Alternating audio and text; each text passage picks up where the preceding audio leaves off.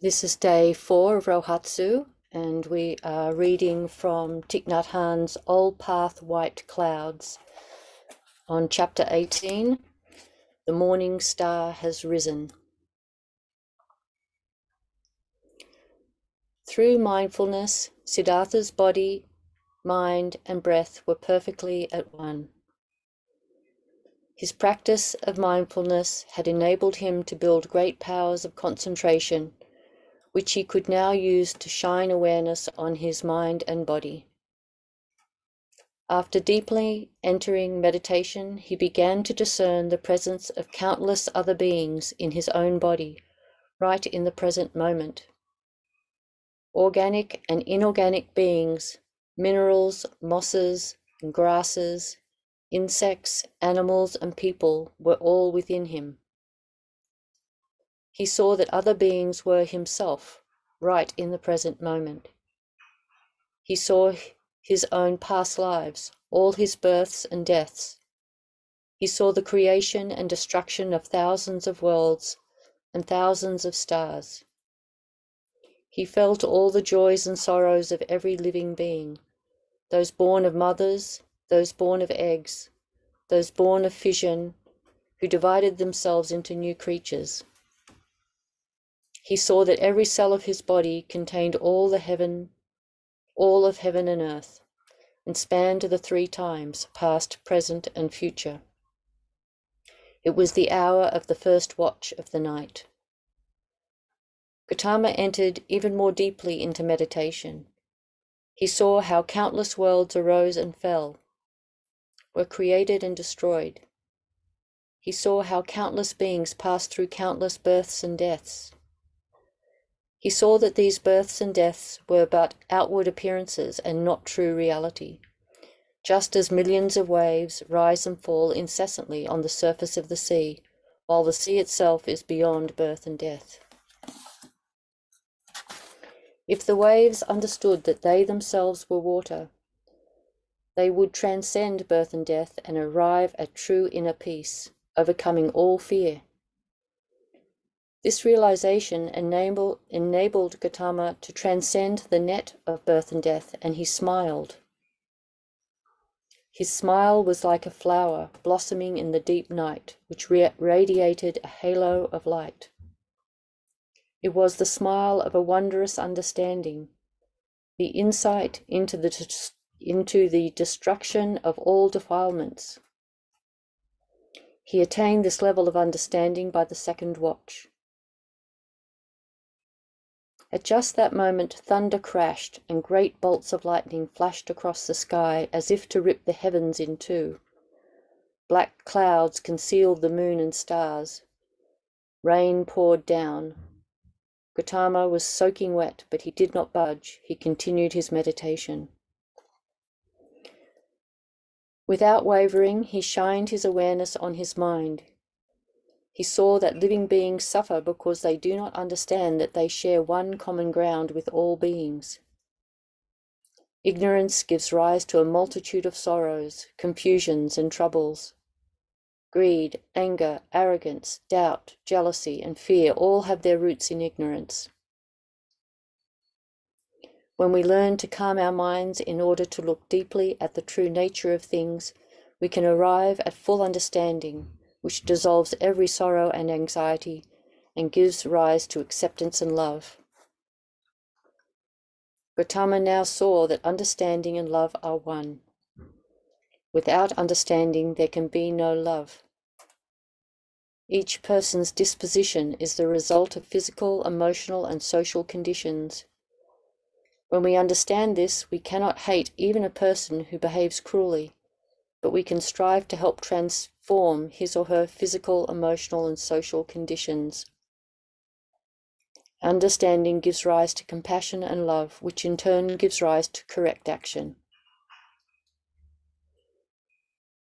In order to love, it is first necessary to understand, so understanding is the key to liberation.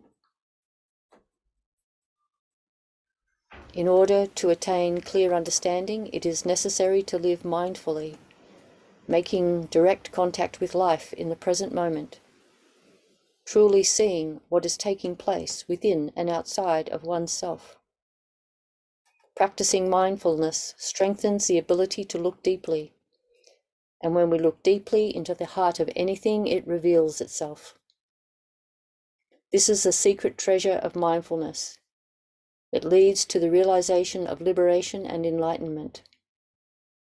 Life is illuminated by right understanding, right thought, right speech, right action, right livelihood, right effort, right mindfulness, and right concentration. Siddhartha called this the Noble Eightfold Path. Looking deeply into the heart of all beings, Siddhartha attained insight into everyone's minds, no matter where they were, and he was able to hear everyone's cries of both suffering and joy. He attained to the states of divine sight, divine hearing, and the ability to travel across all distances without moving.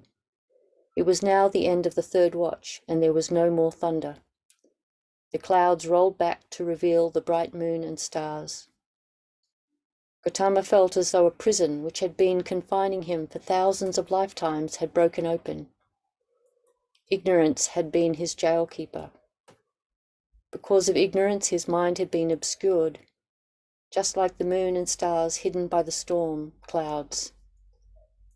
Clouded by endless waves of deluded thoughts, the mind had falsely divided reality into subject and object, self and other, existence and non existence, birth and death, and from these discriminations arose wrong views, the prisons of feelings, craving, grasping, and becoming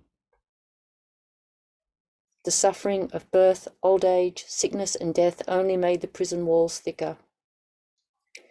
The only thing to do was to seize the jailkeeper and see his true face. The jailkeeper was ignorance, and the means to overcome ignorance was the noble Eightfold Path. Once the jailkeeper was gone, the jail would disappear and never be rebuilt again. The hermit Gautama smiled and whispered to himself, O jailer, I see you now. How many lifetimes have you confined me in the prisons of birth and death?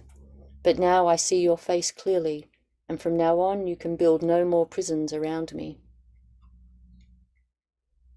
Looking up, Siddhartha saw the morning star appear on the horizon, twinkling like a huge diamond. He had seen this star so many times before while sitting beneath the pipala tree. But this morning it was like seeing it for the first time.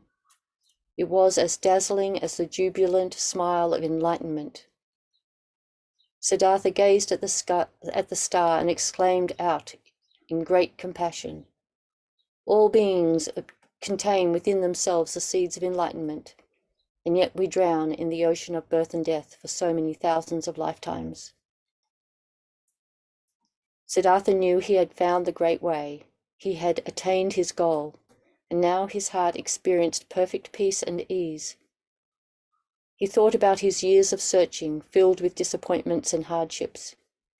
He thought of his father, mother, aunt, Yasodhara, Rahula, and all of his friends.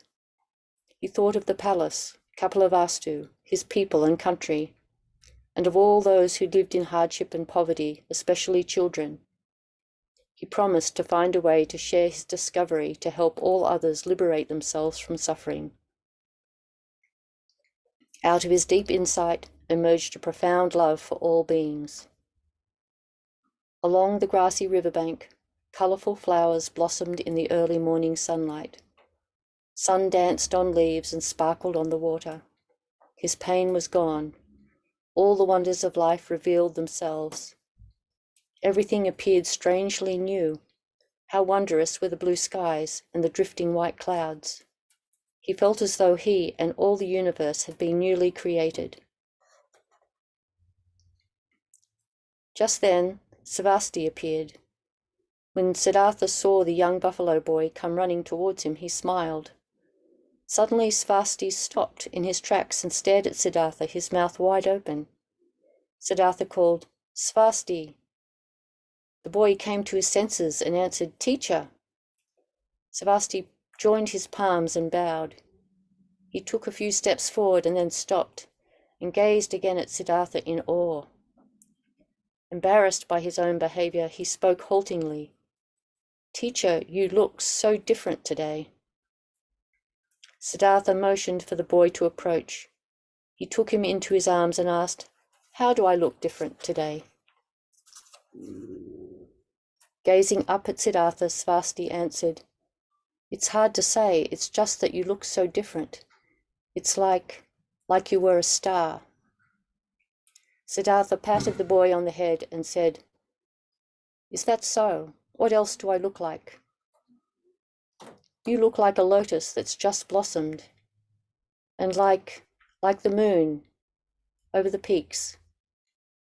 Siddhartha looked at Svasti's eyes and said, Why, you are a poet, Svasti. Now tell me, why are you here so early today? And where are your buffaloes? Svasti explained that he had taken the day off, as all the buffaloes were being used to plough the fields. Only the calf had been left in its stall. Today his only responsibility was to cut grass. During the night he and his sisters and brother were awakened by the roar of thunder.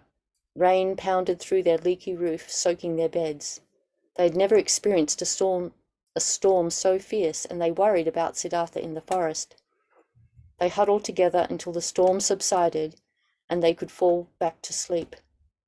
When day broke, Svasti ran to the buffalo stall to fetch his sickle and carrying pole, and made his way to the forest to see if Siddhartha was all right.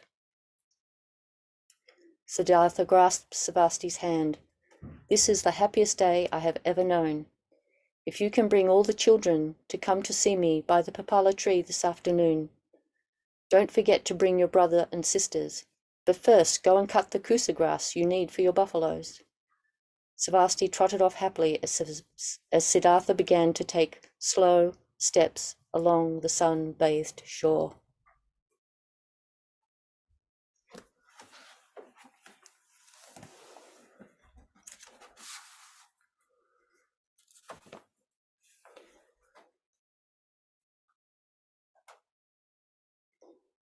So, the first thing I'd like to comment on in this chapter is how throughout the whole chapter, in almost every paragraph, there's references to nature in some way, to plants, to insects and animals, to grass, leaves, trees, sky, clouds, water.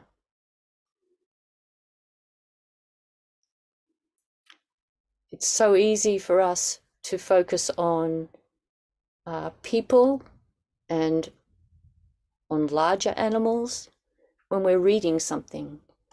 It's often so easy for us to focus on events and actually skip past all of the non sentient aspects of a story. They're there, but they're kind of secondary. Like right at the end of the story, when the Buddha's just had his enlightenment but he's concerned about the buffaloes and the kusa grass, which I think is lovely, and I want to say something about that in a little while. But when we think of kusa grass and buffaloes, I think it's very easy to focus on the buffaloes as the primary thing, that the kusa grass is for the buffaloes. But if we can see equally the kusa grass and the buffaloes as just equal, then we have this capacity to be in to be taught 24 hours a day. We are always surrounded by objects. We are constantly surrounded by non sentience. Sometimes we have sentience in our life, many times in the day, but we're always surrounded by objects. So we can let every object be our teacher. Every single object can be our teacher all the time. It's this incredible gift that we have. And that the Buddha was awakened by the morning star is this beautiful example of how the non sentients are there to teach us. We just need to turn our awareness towards them wherever we are, all the time, day and night. In bed at night when we pull the blanket up just over our shoulders because we're getting a little cold, or just adjust our pillow. We'll lean over and turn the lamp on, the night light. We can be being taught all the time. We're surrounded by teachers.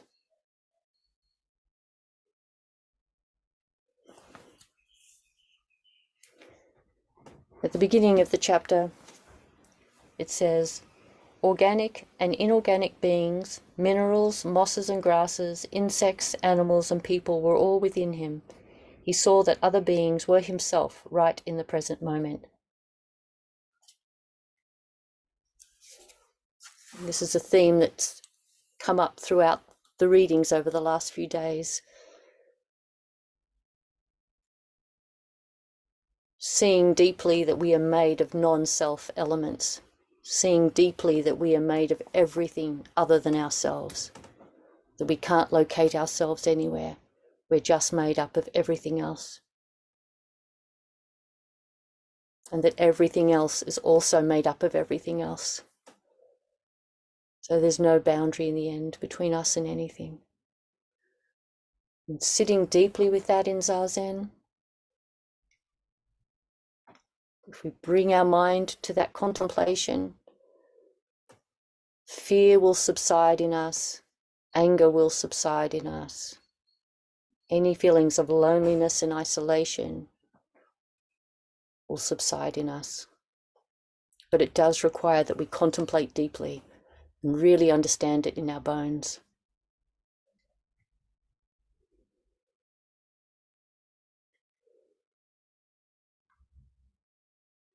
I like too the reference to his smile. You know, smiling, there's something so beautiful when we smile just naturally at each other. Um,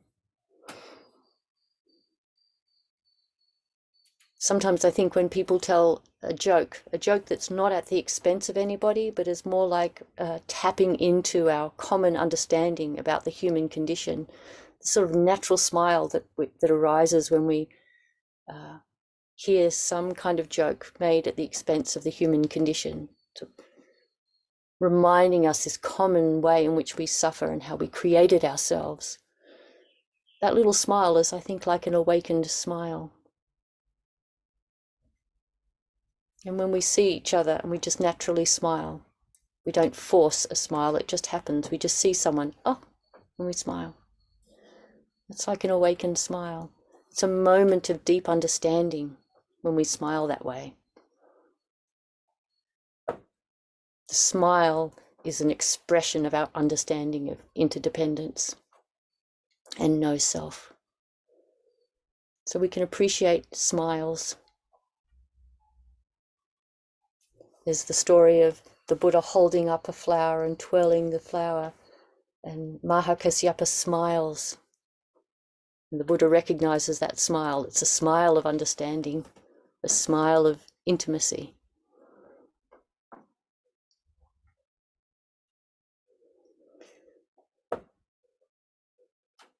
Also, in this chapter, there's uh, a number of places where the emphasis is placed on understanding, that understanding is the key to liberation. And this understanding isn't about knowledge. It's really very simple. The things, the thing that we need to understand is so simple. Like Zen is so simple. And even Buddhism is so simple in a lot of ways. It's really understanding impermanence, which is another way of saying continual flux. Like everything is always in flux. Nothing can be pinned down, nothing can be held down. It's not a difficult concept, really. But to understand it fully, to really feel the truth of it so that we don't get hooked around any event, any moment doesn't hook us. To contemplate uh, impermanence and no self. Really, just contemplate those two things impermanence and no self and all the rest of the teachings kind of flow into flow into those you could actually just contemplate impermanence or just interdependence and you would come to no self Each one is a gate into the other. You can take any one of the teachings and look closely enough, and it reveals all the other teachings. The teachings are not actually complicated. It doesn't require a great intellect, it doesn't require great reading or great understanding in that sense, like intellectual understanding. But those things can be very helpful. But it mostly is in our zazen and in our daily contemplation, just looking deeply, being very curious and really aspiring to want to understand deeply. Want to understand so that we know it for ourselves. We're not repeating someone else's words. We're not parroting someone else's words. When we say the words, they're our words because we know them. That kind of knowing. That's that's that's what the Buddha's calling us to do. That's what the Buddha did. He went by himself at a certain point and sat beneath the Bodhi tree himself until he understood for himself.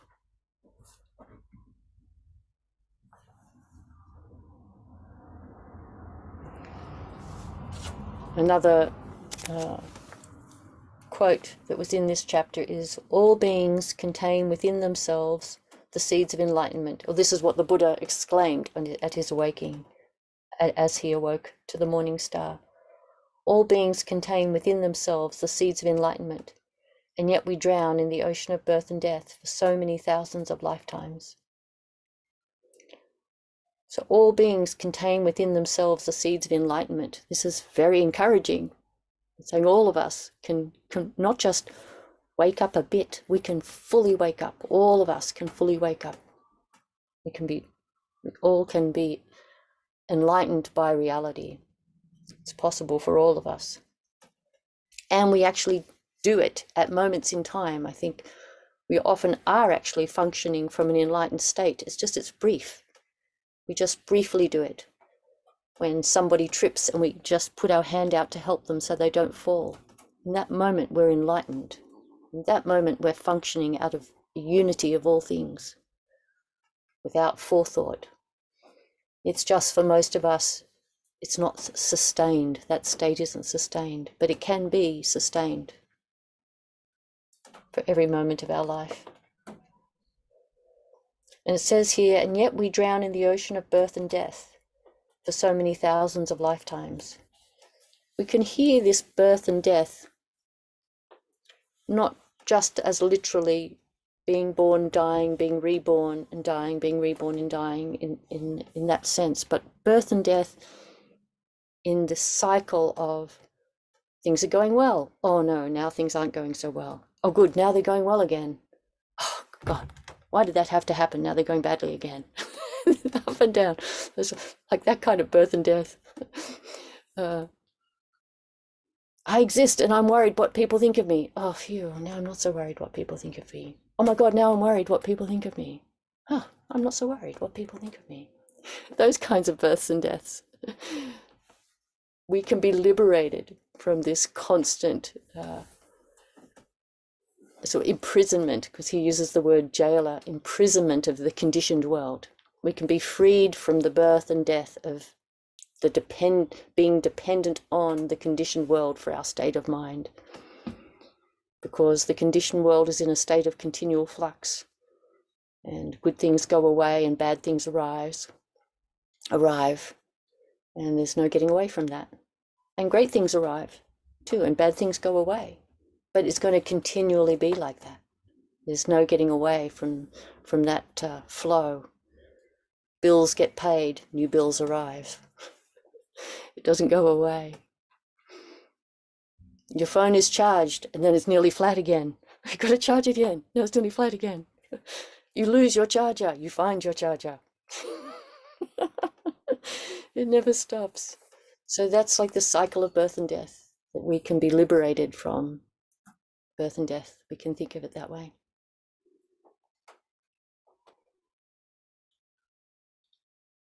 And right at the end of this chapter, it's so lovely the way the Buddha engages with this boy and his buffalo and the kusa grass. He just comes back to something so incredibly simple about caring for this child and whether his buffalo will have grass to eat. I think this is a beautiful instruction for us that, uh, that the enlightenment that we're speaking of isn't anything other than actually caring about ordinary life, caring about whatever's in front of us. And that's what the Buddha did after this great awakening under the Bodhi tree. He wants to check that the buffalo will have some grass and that the grass will have to get time to hang out with the buffalo and get digested in the buffalo's tummy. Multiple stomachs, I think buffaloes maybe have.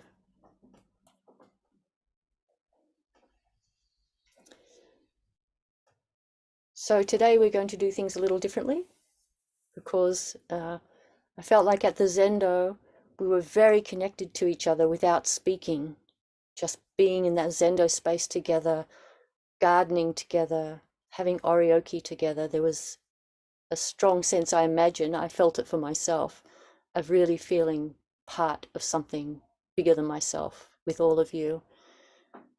But now we're on Zoom for the next two days, so I thought it would be probably more beneficial to introduce talking again. So what we can do now, I shall turn the record off. Let me just go, where's record? Pause recording. Stop recording. Stop recording.